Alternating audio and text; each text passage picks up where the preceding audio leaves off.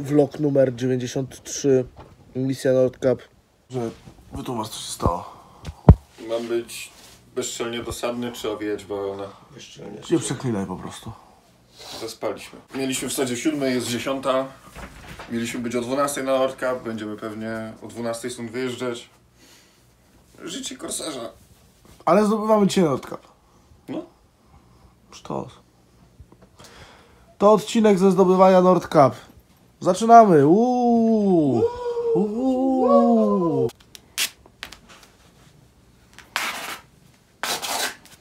Jeszcze kilka minut temu myślałem, że to jest głupie.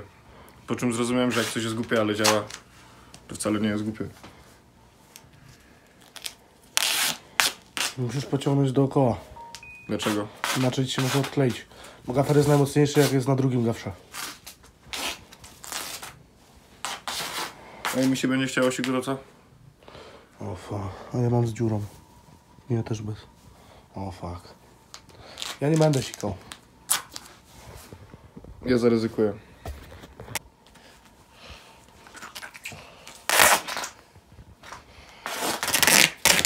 Nawet wyszczupla.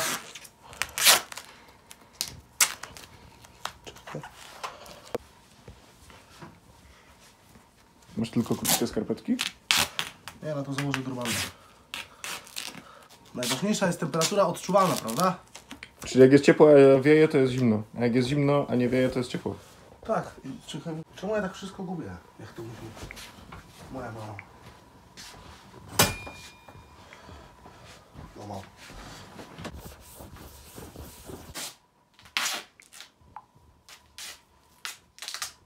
Czuję się pewny. Tego będzie mi ciepło. Ciekawe jest to, że na miejsce treningu przed wyjazdem do Indii wybraliśmy miejsce, gdzie jest diametralnie inna pogoda. No ale jak się nie ma, to się lubi. Mogliśmy jechać do Sosnowca. Tak. Nie byłem w Sosnowcu. Przeżyłeś to? Jadąc do was. Aha, to się. Chce się nie. Nie tak? Mhm. Jak było? Nie wychodziłem z autobusu, bo bałem się. Ty jechałeś autobusem? Z y, Katowic do lotniska. To jest 50 km, tam musiałem jechać autobusem. Czyli zaliczyłem Świętą Trójcę. Pociąg, autobus, samolot I Korsa. i kors. Wyjazd planował o 7, jest 10.46, także leci czwarta godzina obsługi, ale jesteśmy już gotowi i ruszamy zdobywać Nordcap. Radziu, jak nastawionko? Maciej? Dopijam kawkę i lecę, nie? Przyszła informacja, że wjazd za pługiem na Nordcap możliwy dopiero o godzinie 19, prawda? Co będziemy robić w wolnym czasie? To co widać. Siedzisz, siedzisz za telefonach? Tak jest. A ty co będziesz robił w wolnym czasie? Ja sobie obejrzę nasz vlog, bo nie wiem co się tam działo przez ten czas. Oglądasz y, film, w którym sam występujesz? Byłem pijany. Cały czas byłem pijany. Jedziemy po łańcuchy i bez pośpiechu na Nordcap. Muzyczka sztos. Ej, a stałeś z nazwiskiem z takim napisem? Nie, nie pomyślałem o tym. Radziu atakuje rwącą rzeką. On chce wpaść? Chce. Znaczy nie chce, ale wpadnie. Okej. Ja po niego nie idę.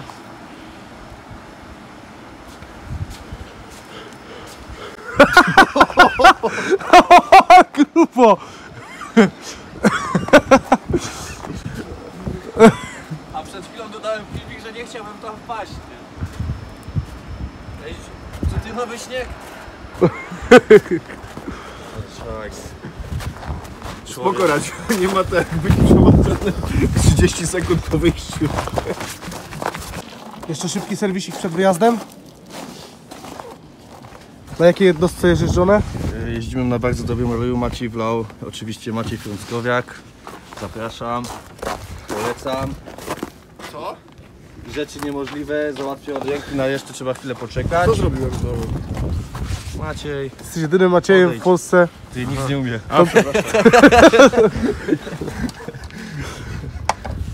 A tak. Ile lejemy do pełna? To nie wina mechanika, to wina Opla.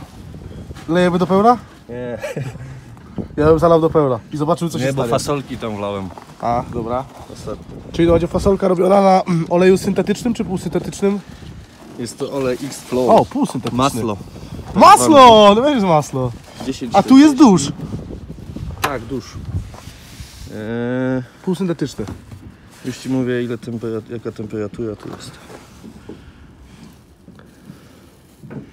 Jeżeli będzie po polsku. Ja mogę jak chcesz z węgierskiego trochę przetłumaczyć. Ja tylko francuski. O jest, przeznaczony do pojazdów silnikowych benzynowych. E, mocno C2026. Sól wapno. Może powodować wystąpienie reakcji alergicznej. Raczej tego nie dotykaj! Jeżeli nam się zarazi, Jak się korsa rozchoruje od tego oleju, Radziu, jeżeli korysa dostanie uczulenia, e, to jest jej uczulenie. czyli ona jest chora! Ona jest... To jest ospa chyba? Ej, nie dotykajmy tego, bo się Nie, lepiej tego nie dotykać. Zobacz, co, to Ej, stary. no, faktycznie Maciej, tu się powiększyły te... Tu, wygl... Więcej ospy? tu wygląda jakby ktoś miał ospę i zdrapał syfa. Nie dotykaj, ci przejdzie na... Za... Czy zakładamy materiał z Wioleksu, czy też sobie ten moment? Ja na razie uważam, Materiał że z nie. Julexu zakładamy tylko w ciężkich e, sytuacjach. Czyli założymy w oczekiwaniu na pług. E, Jeżeli będzie padał śnieg, jeżeli nie, nie, nie jest wymagany. Jedziemy? Takie dostałem wytyczne. Bo mamy tylko 7 godzin, a znając nas może nie wystarczy. Pojedziemy. Żegnamy się z naszym kempingiem i witamy najdalej wysunięty na północ przylądek Europy. Daj mi ten... To trzeba otworzyć. Dobra. Ko- komu się popsuła walizka? Co? Mi. Jak sobie z tym radzisz? E, jeszcze o tym nie myślę. Naciśnij dłońmi. Dłońmi, nie, bo tu się coś złamie.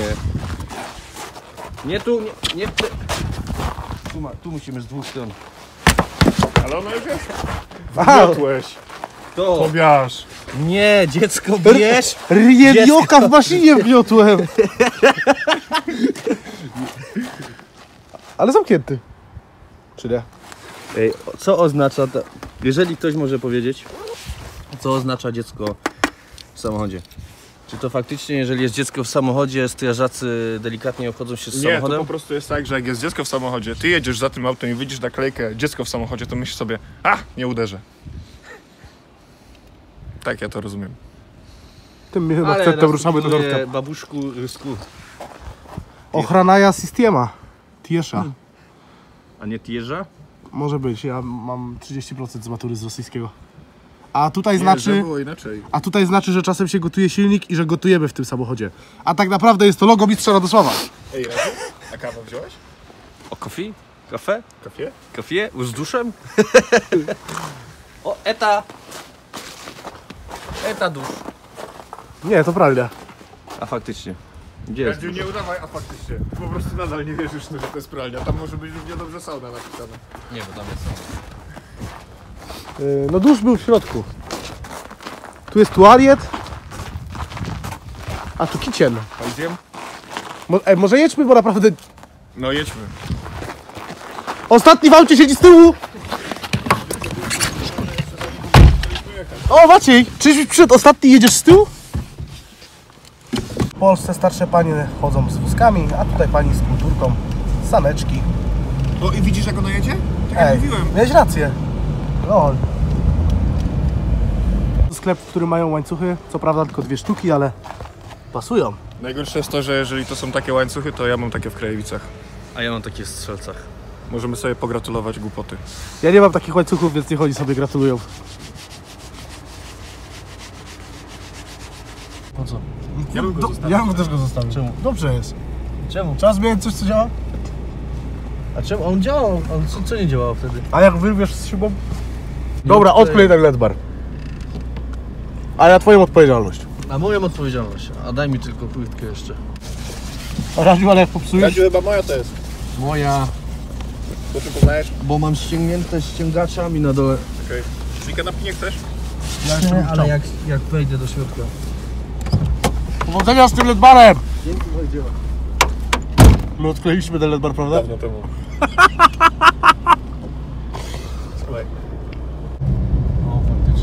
Oni tam do góry na nartach?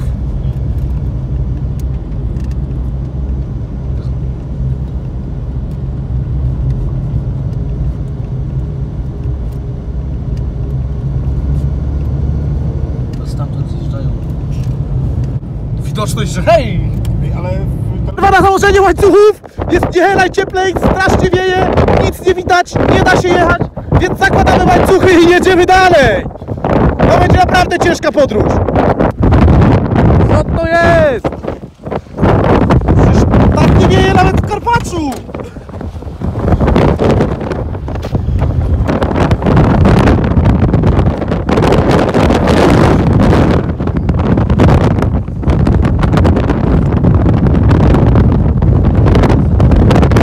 Stop! Stop!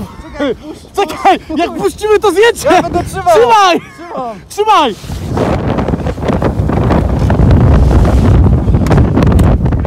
Może ja wsiądę i jak coś tam ręczny! Wow! Wow!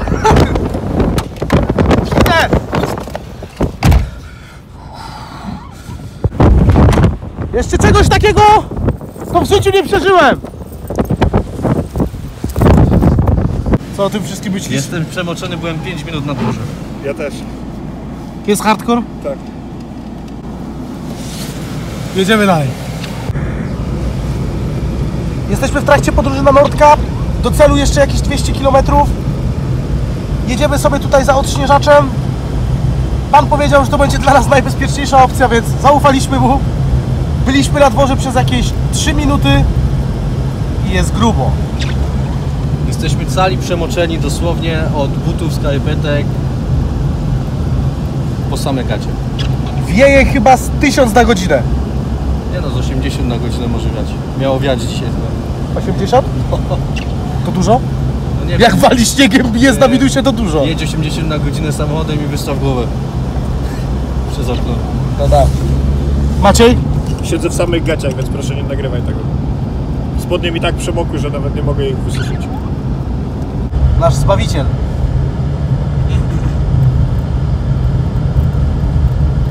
To jest tam warstwa niemała, nie?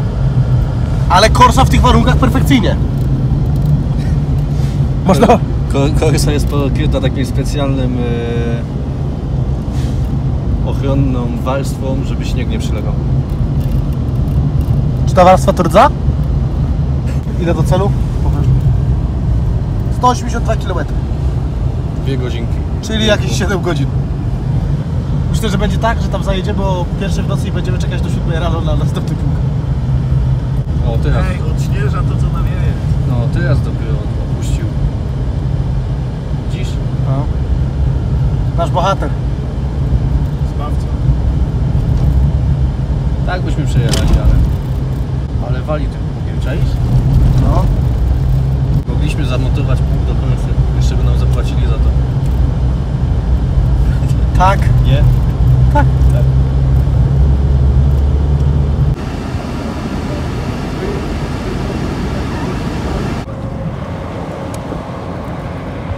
Radziu, zademonstruj przyspieszenie korsy.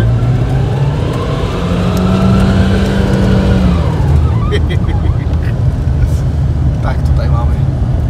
Do Nordkap mamy 100 km i godzinę 40 do odjazdu naszego pociągu drogowego, czy jak to nazwać, czyli jazdy za spychaczem.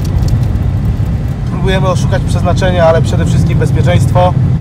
Jak nie zdążymy, to ich po prostu dogonimy. Znam kogoś, co, kto zna kogoś, kto zna kogoś, co otworzy nam ten szlaban.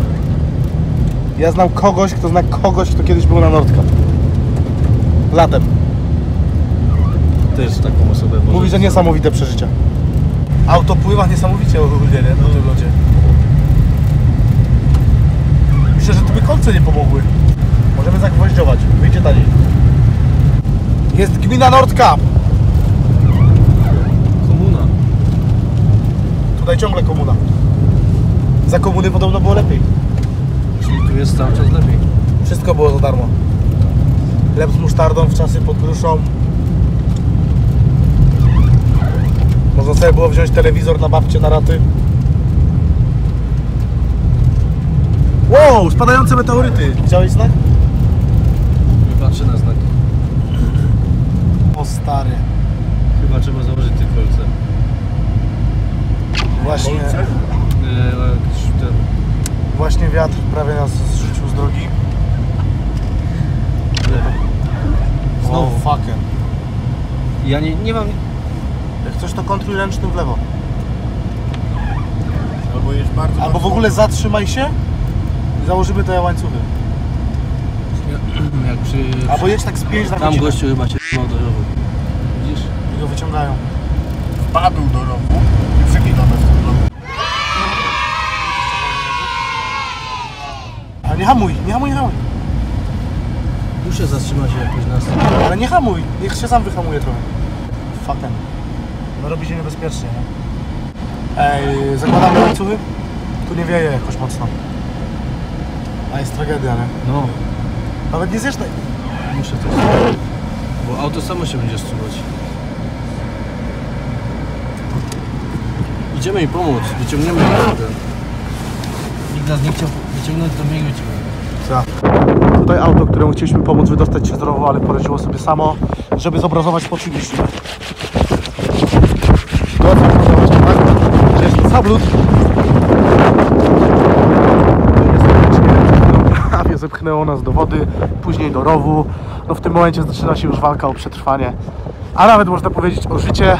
Także teraz korsażowa, korsażowa narada i zastanawiamy się, czy chcemy jechać dalej, to jest tego warte, no bo zrobiło się naprawdę turbo niebezpiecznie i nie ukrywam, że trochę się boimy. Radziu! Radziu! Możesz zrobić demonstrację po czym jeździmy? Tutaj przed lampami tylko? Ja mogę zrobić tak. Stoję. Wiatr mnie sam przesuwa, nie? A, teraz nic. Ale ogólnie... Czy czułeś strach w oczach, kiedy byliśmy spychani przez wiatr do wody? Powiem tak, w momencie kiedy uderzałem w zaspę, obudziłem się, nie bałem się.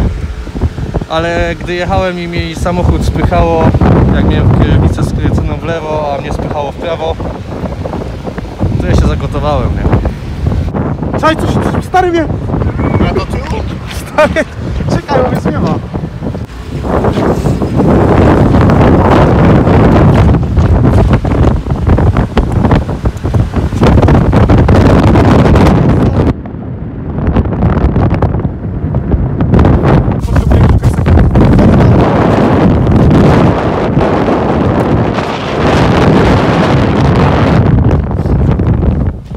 Montujemy tutaj system przygotowany w Wioleksie.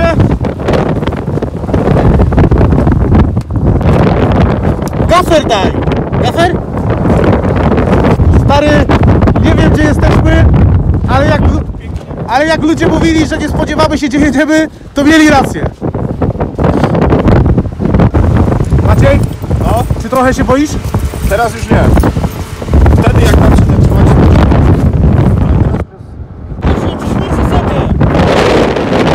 Świeć mi tak, dupie mam tę robotę! Obie. Wody? Wody niech łańcuchy zakłada! Pierwszy raz na międzynarodówce? Ten te piewiczki muszę przyzwyczaić.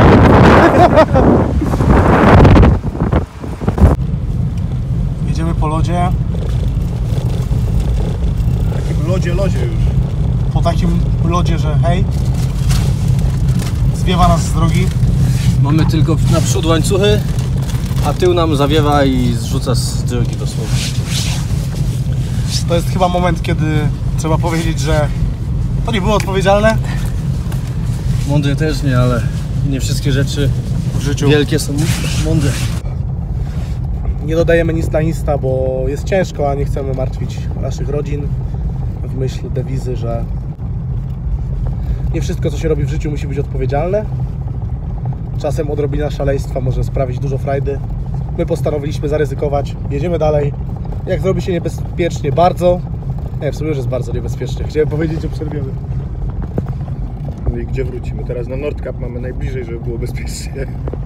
Czyli ogólnie jesteśmy w takiej sytuacji, że musimy jechać. Coś pięknego i strasznego. Wieje strasznie silny wiatr, który spycha nas z drogi. Korsa nie ma napędu 4x4. Nie ma też kolcy. Ma tylko łańcuchy. Naprzód.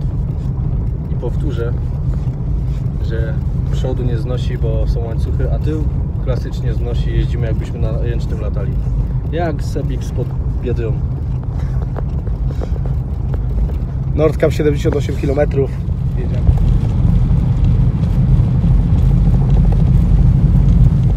Czas na kilka pytań do eksperta. Jaka średnia prędkość w tych warunkach jest bezpieczna Twoim zdaniem? 26 na godzinę. Ile jedziemy? 26 na godzinę. Czyli idealnie. Tak. Jesteś pewny tych obliczeń? Tak. Czy jesteś pewny tych obliczeń tak samo jak to, że jak ktoś miał wjechać w Zaspę, to Maciej? Ej, Yy, sami już wjechaliście w Zaspę. gdzie? Gdzie? Kiedy? Kto? No jak wpadliście w Trondheim. To Ale nie nagle- wylecieliście tak głęboko po To po prostu. prostu nakręcałem i koło się zesmykło. E, film poproszę. E, nie nagrało się.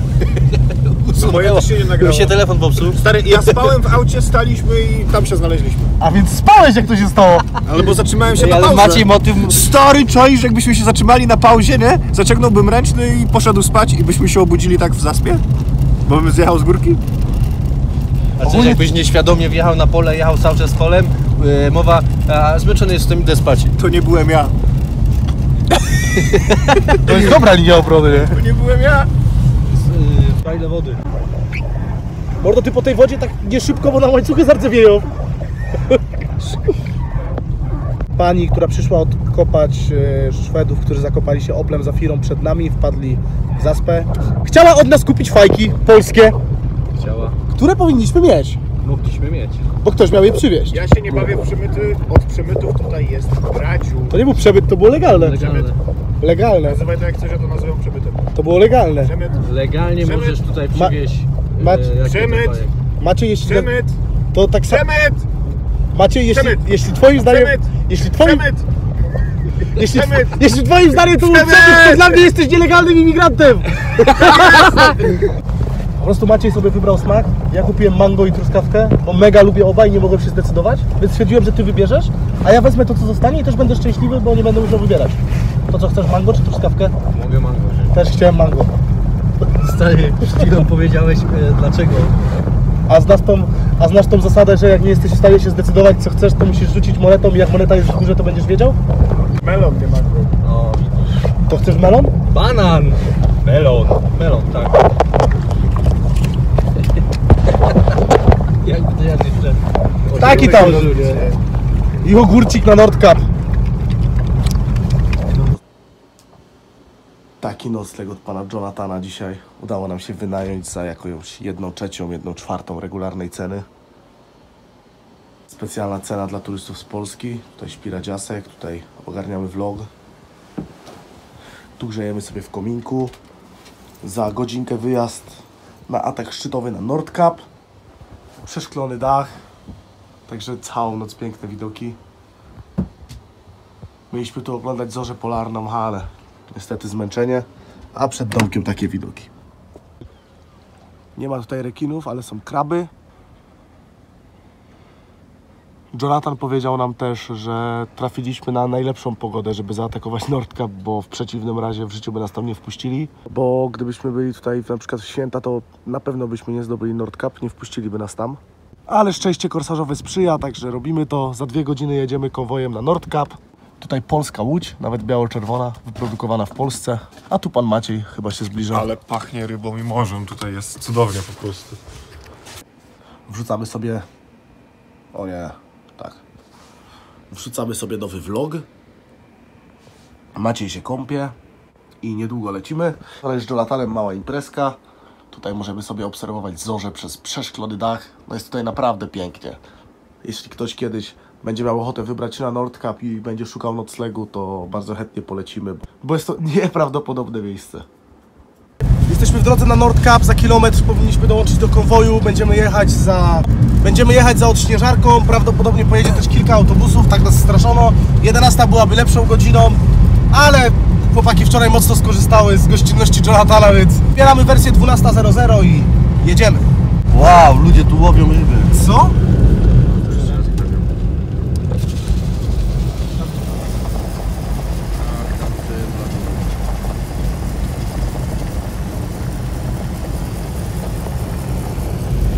Zawsze na styk, za jakieś 5 minut odjazd. Nas jeszcze nie ma na miejscu. ale myślimy, że na, za nami poczekają. Oto nasz konwój! Tut, tut, tut. 13 km do Nordkap. Otwierają właśnie. Wow, ale tu wjechaliśmy na styk normalnie, nie?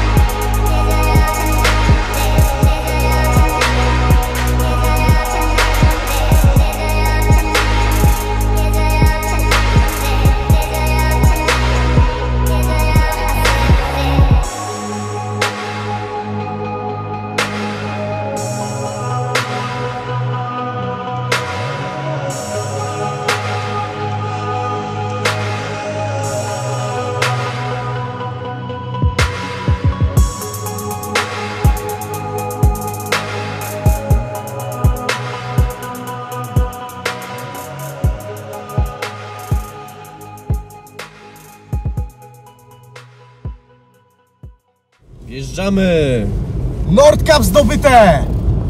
Oplem Corsą B. Z silnikiem od Astry F. F.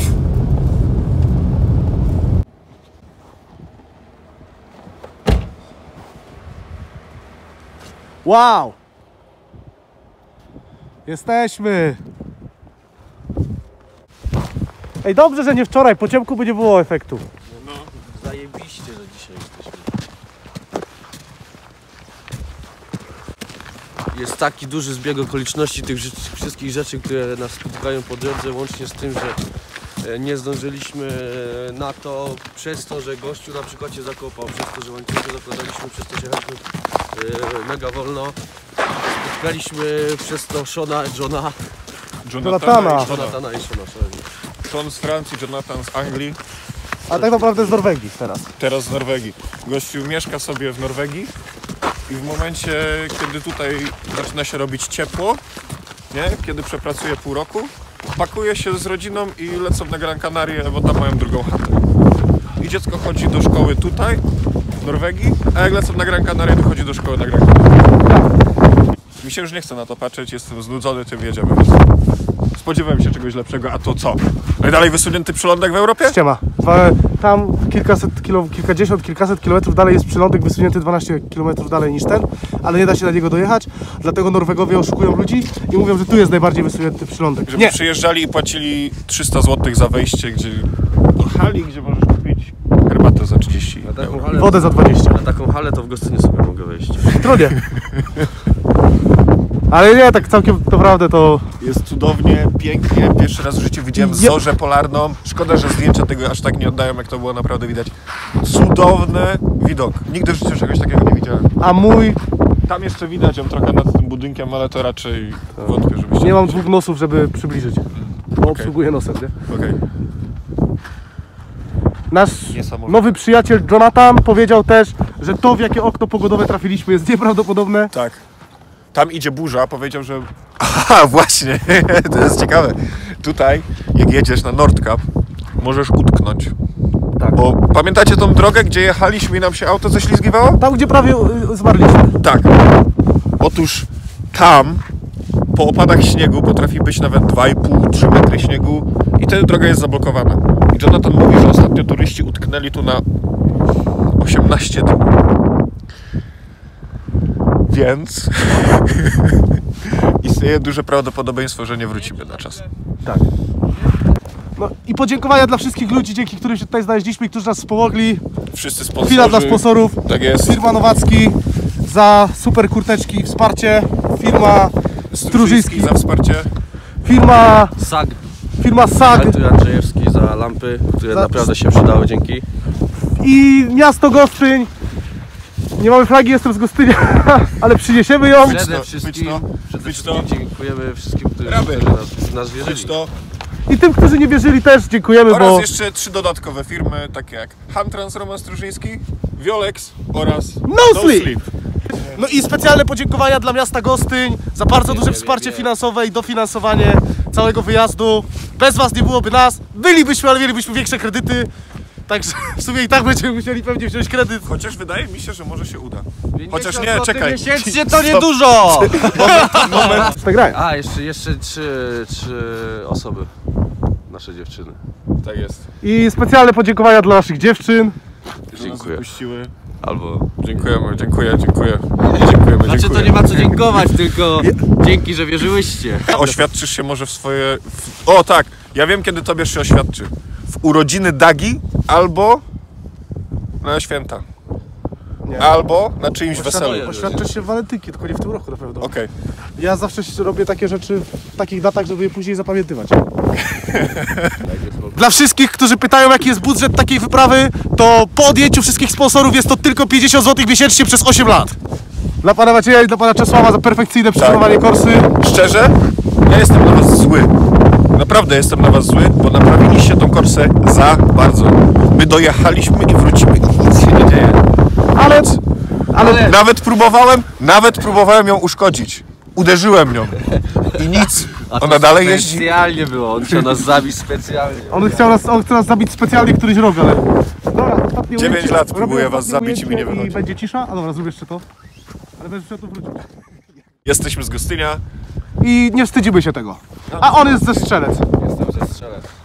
Także oficjalnie pierwszy cel naszej misji wykonany, jesteśmy na Nordkap! Woo! Kto by się spodziewał, że przygoda trzech kupli z technikum potoczy się aż tak fa pięknie i tak daleko. A w tym wypadku nie mieliśmy jakiegoś specjalnego kryzysu podczas tej podróży, nie? Kryzysu? Nie, ale to dobrze. Wiem, że ludzie chcieliby, żeby było ciężko, a my chcemy z tego przede wszystkim czerpać frajdę. Nic się nie stało. Nie chcielibyśmy na tych mrozach naprawiać korsy, ale gdyby trzeba było to zrobić, oczywiście byśmy to zrobili.